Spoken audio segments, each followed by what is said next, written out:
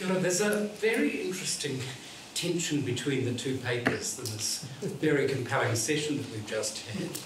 Uh, and I mean, the way in which Michael's unpacked the various strands of settler opinion and of uh, opinions within the, the rangatira coming up to Waitangi. It, while I've got the greatest sympathy for what you've described, Alistair, couldn't, couldn't an equal interpretation be that this is a very useful propaganda for the, uh, for the Anglican Party that has the strongest interest in getting this passed. And so that in effect, what you're portraying is a perspective on the treaty, uh, which gives it a special aura and has thus had quite a role in New Zealand historiography. But until we actually can desacralise the document, and we can't see the imperfections of the way in which it was constructed. Now, I'm not saying I necessarily accept that, but I think that question has to be put. Everything? Uh, is the question that we need to desacralise that? Is that what the question is?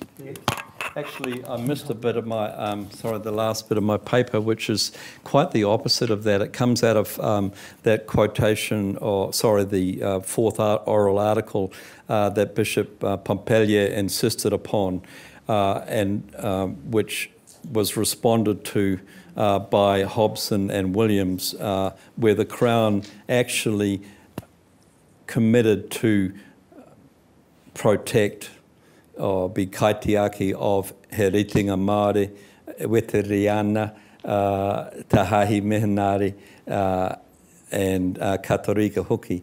So um, what I was I wanted to propose out of that is actually uh, that that almost calls into question the common assumption that this is a secular nation, and uh, so the, while it might be on the losing side of the argument uh, amongst many, I think uh, there's a foundational po or a very strong argument to be to say, actually, we're not, a, we're not secular at all. Well, we might have secular pockets, but actually the foundational po uh, is, uh, is actually sacred. It's covenantal. And while not everyone will want to buy into that, uh, it needs to be acknowledged at least. And so, how do you know? So we, so uh, in a public space, both the secular and the sacred uh, need to work together. Now, if the sacred, if the secular insists on the sacred being silent, uh, that's not going to happen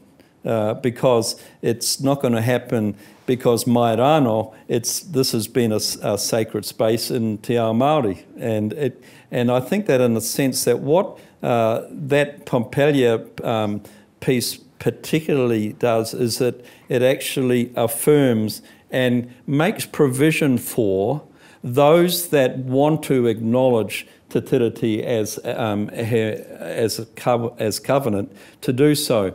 Of course, I cannot insist that anyone else could, will see it as a covenant, but it's part of um, I guess, in making the claim that it is part of our constitutional DNA and that somehow, the, um, however it's done, whether it's in a constitutional or just an ad hoc way, that we actually, that that is acknowledged. There's a point in the debate, and this is a kind of question, there's a point in the debate, and sorry, I'm getting brain fade too, and I don't know if it's Waka Nene or the others, who says, We've just got to go with what the missionaries are saying. And I'm seeing that as a debate between the pagans and the heretics, you know, the, these non Anglican elite. And he's actually saying, no, no, we've got to go down this missionary line. Now, the key point for me at that is that a number of the missionaries say, oh, whoa, whoa, whoa, whoa, what's happening here?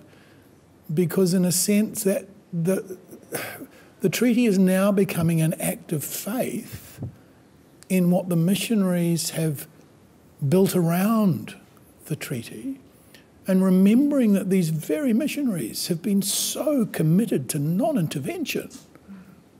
They, you know, Henry Williams has spent the weeks before Waitangi down the bottom of the North Island trying to persuade Māori to give him land in trust and not sell to the New Zealand company. He sees the Tory out in the sea. They don't meet. He is, you know, he's somebody who for such a long time has said, we don't want British intervention. They know that this is risky. So while Williams has sold the treaty because he sees it as impossible to protect Māori interests without it, a number of his colleagues are actually getting quite, uh, you know, wary about where this is going and seeing when this breaks down, we're going to be blamed. So, and I, I suppose I, this is the old Catholic part of me. I find it a little incongruous that Pompallier's intervention, which horrified the Anglicans, is now being used as a justification for the treaty as a religious covenant, which that seems a little far fetched, I would say. But anyway, that's. Can I ask a question? Um, it was signed in the year of our Lord. That's actually in the treaty. In the year of our Lord. That is a legal tender document. That was a covenant signed in the year of our Lord. What does that mean if we're like? It has to mean something because in the year of our Lord means that there's a sense of integrity that comes with it and an intent and an intent and obligation. And all I hear is Pākehā and non-Christians debating the fact that it means nothing, but it meant something at the time. I want to take it further than that, actually, because Hobson's major message is. I remember he's come here in 1837 where people are fighting with each other. He's saying in Britain, people are protected, they can go where they like. The law is what he's bringing. What does the law mean to Māori? doesn't mean the common law and statute. It means law coming out of scripture more than anything else. You know, Te Ture is, is not European understandings of law, it's Māori incorporation of law coming through the experiment with Christianity.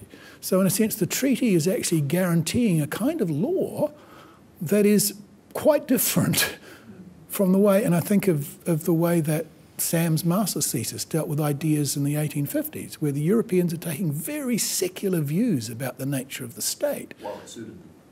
Well, that reflected their, the age that they were in. Doesn't matter the age. It's but I'm saying that Māori views are very much about you know, religious, the use of Christianity as a form of resistance as well, of course. I would just want to add to that is that I think that the treaty still represents an inconvenient truth for all of us. It's an inconvenient truth for Māori, it's an inconvenient truth for uh, secularists, it's an inconvenient truth for Christians, that somehow in the midst of all of that, there are some things that maybe none of us actually uh, would want to, uh, if we were to recreate it, that our different sectors, we would write it in a different way. I'm more of a sort of a providentialist at thinking, well, that's just what's happened. Now we've just got to deal with it and, and but deal with it uh, as faithfully as we can.